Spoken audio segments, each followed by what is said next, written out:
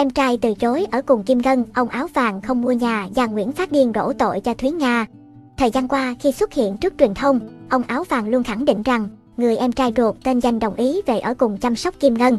Tuy nhiên, trong lần xuất hiện mới đây, ông áo vàng đã thông báo người em trai tên danh đổi ý. Ban đầu ông Hà nói rằng có lẽ em danh sợ bị cộng đồng mạng chửi bới, nói này nói nọ. Thế nhưng hình như nhận ra mình nói bị hớ, nên ông Hà đã sửa lại rằng em danh nói rằng sau khi suy nghĩ lại thì chỉ muốn giúp chị từ xa, không muốn ở cùng, thỉnh thoảng chạy tới thăm trong ngày thôi. Nếu ở chung thì sợ khi Kim Ngân nổi giận sẽ mất tình chị em. Hai vợ chồng danh nói rằng nếu ở chung thì không có tốt, sợ chị Ngân giận nhiều thì không biết làm thế nào. Sau khi ông Hà nói xong điều này, có lẽ già Nguyễn ngồi bên cạnh sẽ không dám ngẩng mặt lên, vì anh ta từng nói rằng Kim Ngân vì sợ Thúy Nga nên đã bỏ chạy, vậy thì bây giờ nhìn đi, chính em trai Kim Ngân là người sợ ở cùng chị ruột đấy. Quay lại với những gì ông áo vàng nói, vì vợ chồng danh không ở cùng, thì căn nhà 98 ngàn là quá mắc, quá đắt đỏ, nên ông ta quyết định không mua nữa. Vậy không mua được là do ông Hà chê căn nhà đó mắc, chứ không phải lý do gì khác. Và ông Hà cũng thừa nhận rằng tiền đất hàng tháng rất đắt,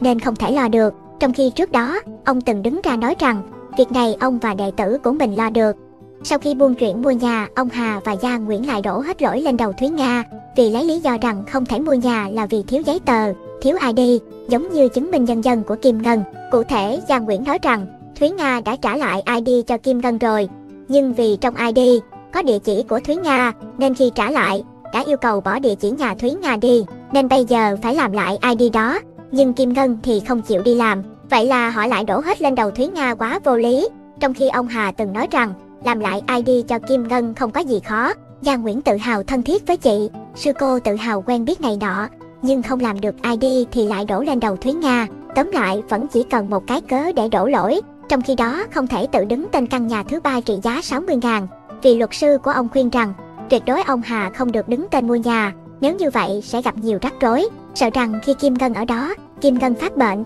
thì ông Hà là người phải chịu trách nhiệm và cũng sợ rằng ai đó chọc phá, gài ma túy vào nhà, thì ông Hà cũng sẽ gặp rắc rối. Vậy mà khi Thúy Nga trả nhà và lấy lại địa chỉ nhà trên ID của Kim Ngân, thì ông Hà và Giang Nguyễn lại phản đối, lại nói rằng Thúy Nga quá độc ác. Ngoài ra, Giang Nguyễn tiếp tục chỉ trích rằng người công khai thông tin Kim Ngân bị bắt là sai luật và có thể bị ở tù. Và thấy Kim Ngân là bậc hiền nhân cái phong cách của Kim Ngân là người đàng hoàng có đôi lúc mà cũng nói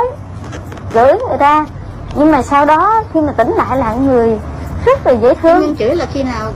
cái người đó có thể làm cái gì Kim Ngân cảm thấy người đó không tốt Kim Ngân Kim Ngân mới chửi theo con thấy vậy cũng như đi gối diện mình nhìn hay là chăm chọc cái gì đó mới chửi chứ tự nhiên không có giờ Kim Ngân chửi con gặp Kim Ngân ở ngoài ngoài đâu có chửi không có chửi khi nào có người đó có một cái ánh mắt một cái thái độ gì á Kim Ngân phải như chạm cái cái cái tự ái Kim Ngân mới chửi chứ phải như không như con tự nhiên